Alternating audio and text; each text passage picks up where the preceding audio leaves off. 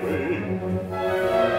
Вам лишь бы целый день на шее Висеть у милого дружка. Вам целый день глаза его смотреть. Сюжетно все придумал гениальный человек, вот, Александр Сергеевич Пушкин. И то, что это вообще-то, как бы он это писал как сказку, но она такая сказка, с, как бы, вполне реальная история.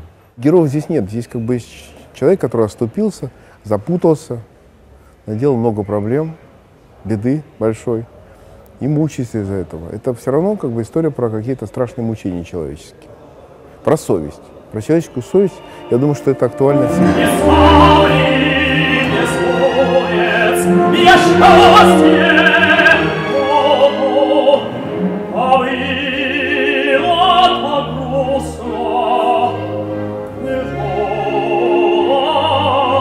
Сюжет пушкинский, атмосфера немножко попозже.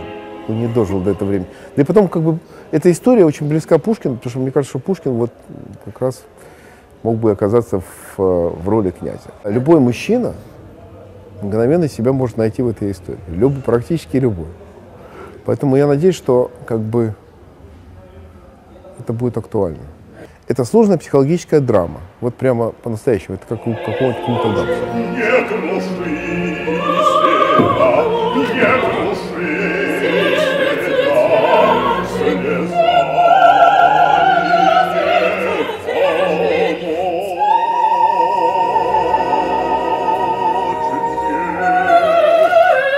Мельник это какой-то ужасно трагический человек, персонаж, который просто обезумел.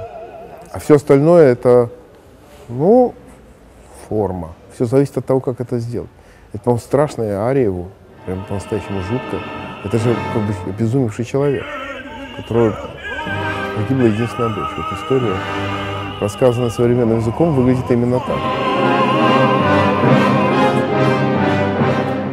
Оказалось, что это понятнее, вся эта история понятна в эпоху, например, там, конца 19 века. То есть это такая сдвижка, но с- э, не, неформальная. Она была связана с какими-то абсолютно нашими представлениями о том, когда это могло произойти, понятнее всего. Это связано даже с какими-то нашими представлениями о русской литературе, замечательной того времени, в которых очень много вещей, описанных э, вот, вот таких историй. Бунин, Куприн, вот как бы вся русская литература, когда русская интеллигенция повернулась в сторону своих истоков, потому что как бы произведение это написал человек достаточно интеллигентный и живущий совершенно в другой среде. Но это было как бы время увлечения русскими истоками, когда появилось это в, в опере очень большом количестве. Это же связано было с эпохой, когда Петербург поехал в деревню и стал ее любить.